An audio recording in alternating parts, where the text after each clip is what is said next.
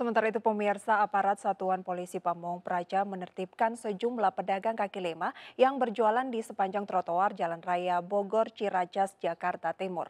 Penerbitan dilakukan setelah petugas menerima aduan masyarakat yang resah dengan keberadaan PKL yang mengganggu pejalan kaki hingga menyebabkan kemacetan.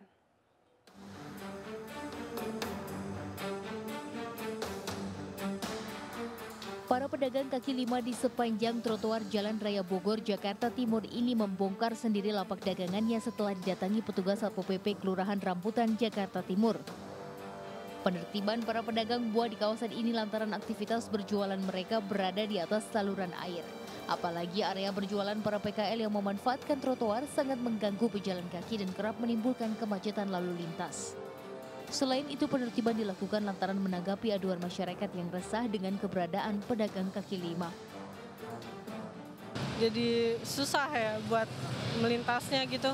Ya kalau bisa pemerintah ngasih tempat yang layak buat mereka karena kan mereka juga nyari nafkah buat keluarganya gitu. Jadi ya sama-sama uh, pemerintah kasih kesejahteraan buat rakyatnya terus rakyatnya juga menerima fasilitas gitu. Jadi kayak bisa menggunakan trotoar dengan baik. Nah, ini enggak di atas trotoar loh mbak. Kalau trotoar sampai ini sampai ini mbak. Ya, kalau di masih di atas nah, saluran pak iya.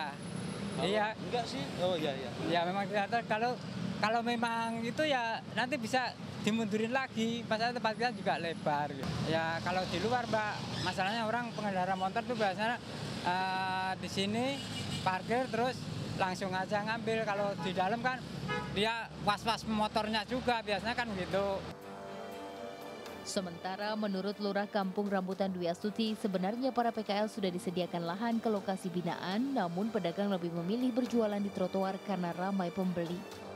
Sebenarnya beberapa waktu yang lalu kita sudah menyediakan, eh, Pemprov Wali Kota sudah menyediakan tempat di Lokbin Susukan.